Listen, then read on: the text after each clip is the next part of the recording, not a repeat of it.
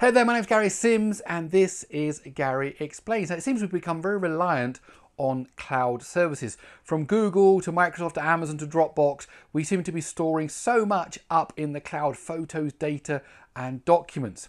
Now there is a way to become less reliant on the cloud and to actually become more independent and have control over your own data. And to do that, today I'm going to be looking at a Synology NAS, the DS 220 Plus. We'll do a quick review of how that device works and look at how we can use a Synology NAS drive to free ourselves from cloud services and take over our own destiny on what we do with our data. So if you want to find out more, please let me explain. I'd like to thank Synology for sponsoring this video. So what is a NAS, Network Attached Storage? Well, it is what it says on the can. It is storage, that can probably hard drives. It can, of course, also be SSDs that are connected to your network. Now, every device that we use uh, daily has some kind of storage from your smartphone to your desktop to your laptop. There's some kind of storage in there, and that's where you store things locally. However, it remains local. It's not shared anywhere else on your network. When you're using network attached storage, that means that storage is available to anyone across your network. And of course, you get control over how you set up the permissions about which people and which devices have access to that data. So it means that your smartphone can access data on a NAS, your desktop can access it, your laptop can access it, and even a smart TV can access it.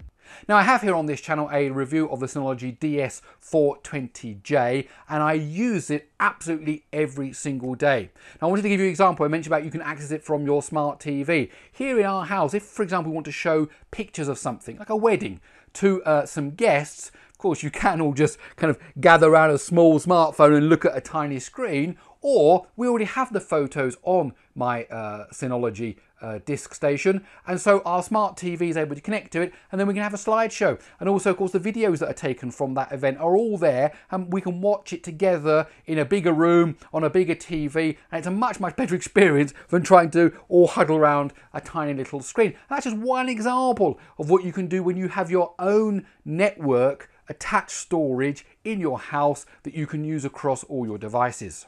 So the Synology DiskStation 220 Plus is a two bay uh, network attached storage unit. It comes with a dual core Celeron processor that bursts up to 2.9 gigahertz and it comes with two gigabytes of RAM and this is one of the great things about the Plus series and we'll talk about the different types of series that Synology have.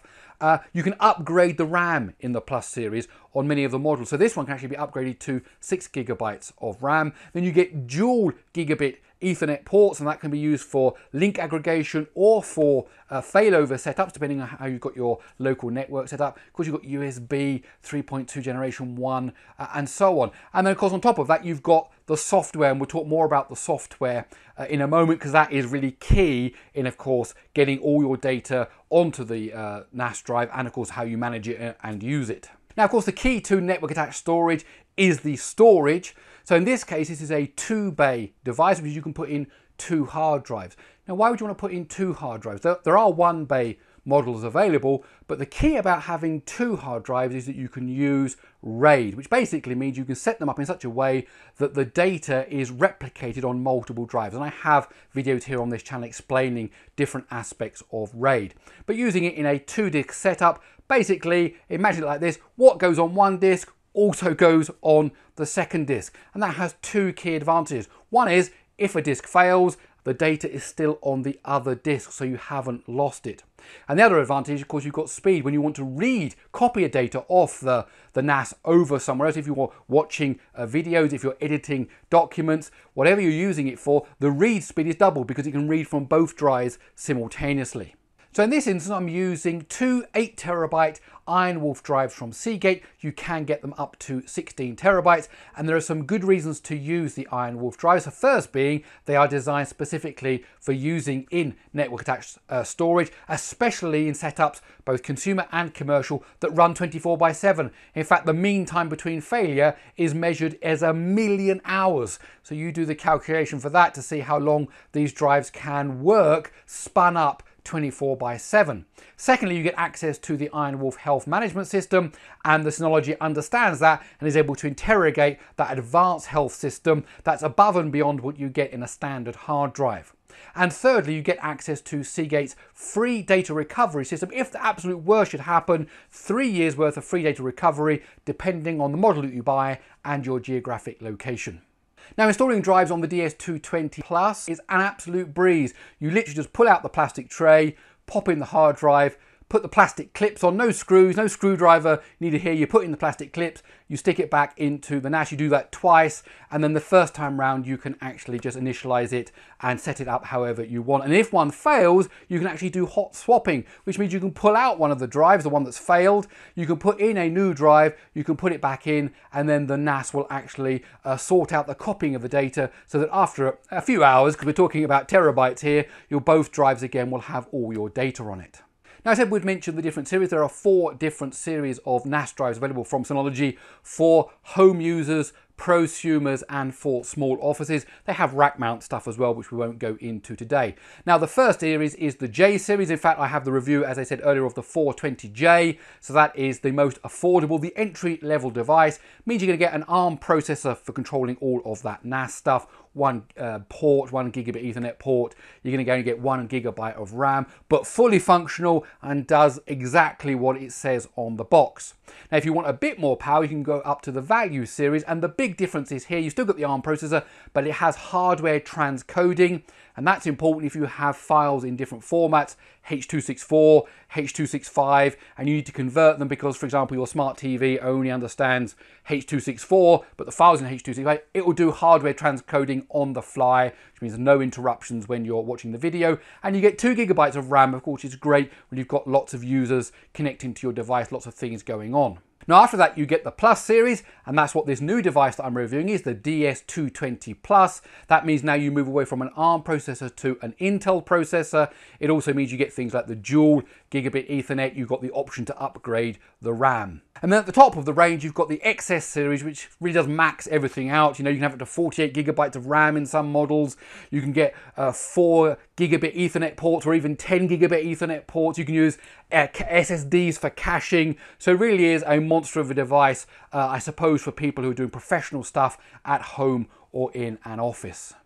Now, all of these NASs across the whole range use basically the same software, the DiskStation Manager, and it gives you a web interface to allow you to manage and control and use your network attached storage.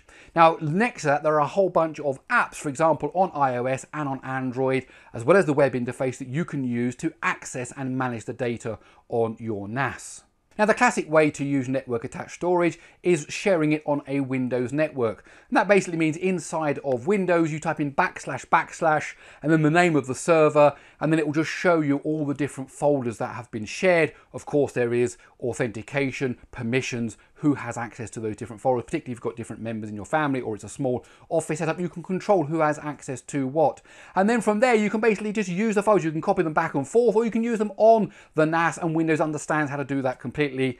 Uh, and so, for example, if you have a laptop with a smaller amount of storage and you want to access files that are on the NAS, you don't need to copy them onto your laptop, you just use them over the network, and it works absolutely flawlessly. Now, a classic way that we can use a NAS from our smartphones is for photo backup. Now, a lot of people back up their photos onto Google Photos, onto iCloud, but once you go past a certain limit, you have to start paying for those. And of course, that can be actually quite expensive because it's a reoccurring fee absolutely every single month.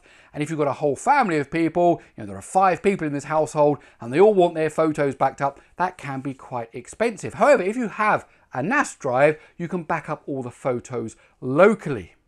Now there are apps available from Synology for iPhone and for Android that just basically allows you to back up your photos onto the NAS and to view the photos that are on the NAS and therefore to free up space that you have on your local device without having to pay every single month for something in the cloud for somebody else to look after your photos. Now, other than sharing data to your laptop or PC, other than showing photos on your smart TV, backing up the photos from your smartphone, there are a whole bunch of other ways of using the NAS. There are a whole bunch of collaboration tools uh, that allow you to do all kind of really clever things on your own cloud service. Basically, if you can do it in the cloud, you can also do it on a local network attached storage. So there are collaboration tools. You can write documents, spreadsheets, presentations. There's even a chat server, GitHub server, virtual machines, a web server. I mean, the list really is quite impressive. In fact, I could almost do a different video about each of those different types of functionality.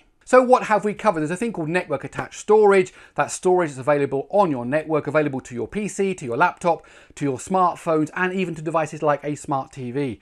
Data that's there can be copied back and forth, and it can also be used directly on the NAS drive itself. Great way for performing backups, backups of the data that you've got on your PC, backups of things like photos, music, videos that you have on your smartphone. And then they are accessible wherever you want throughout your network. And all this is aided by a comprehensive ecosystem of software, some of it web-based, some of it directly native on your smartphone, iOS and Android. And let's not forget that NAS units with multiple drives can be set up in such a way that there is redundancy so that data that is on one drive is copied automatically and used automatically from a second drive. And of course you can get multiple bay devices. For example, again, I'll mention the review I have here of the 420J has got four drive bays in it. So an absolutely great level of flexibility. Okay, that's it. My name is Gary Sims. This is Gary Explains. I really hope you enjoyed this video. If you did, please give it a thumbs up. Also, don't forget you can follow me on Twitter at Gary Explains. And I also have a newsletter. Go over to garyexplains.com, type in your email address. You won't get any spam, but you will get the newsletter. Okay, that's it. I'll see you in the next one.